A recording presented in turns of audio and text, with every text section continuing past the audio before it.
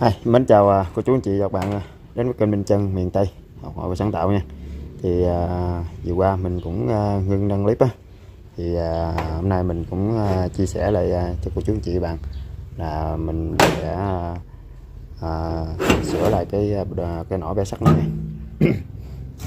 thì à, cái nỏ bé sắt này thì mình sẽ chế lại à, là nó có nhiều à, dụng cụ à, chức năng nha.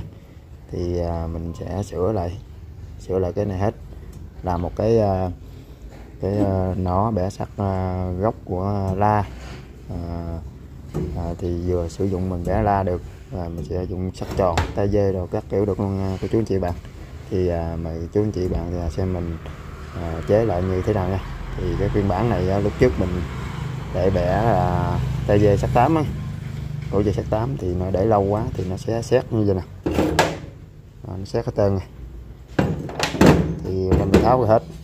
Mình sẽ làm lại nha. À, mặt bạn này nó nó đây nó sẽ cứng hết rồi. Thì mình sẽ làm lại hết.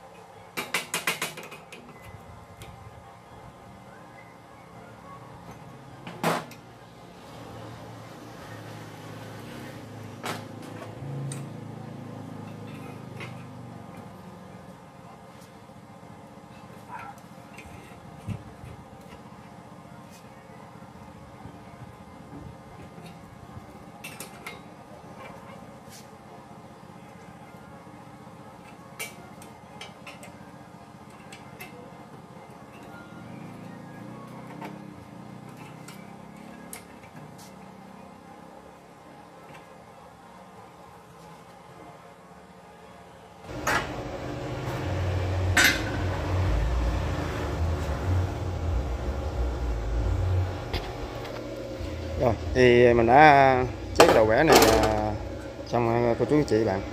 Thì à, những cái này á mình chỉ chỉ à, tham khảo. Thì cái này nó rất là chắc ha mình bắt hai ốc. Còn đây nó giờ vô ga. Thì à, mình muốn vẽ cái tê dê. Thì à, cô chú anh chị các bạn cắt phân nửa cái này nè. Đó, thì muốn à, hình chữ nhật hay hình vuông gì cũng dễ đó, còn vẽ cái, cái vuông này thì cũng rất là vuông luôn nè à, mấy góc cạnh này rất là vuông.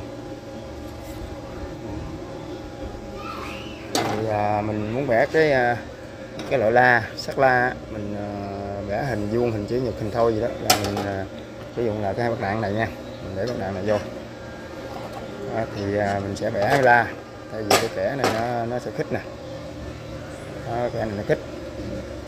Khích nó khoảng gần 5 ly thì mình vẽ được là 3 ly 4 ly vẫn bình thường nha còn à, mình vẽ cái tay dê. Những tay dê thì mình gỡ ra. Đó, thì mình sẽ vẽ tay dê. Rất là ok.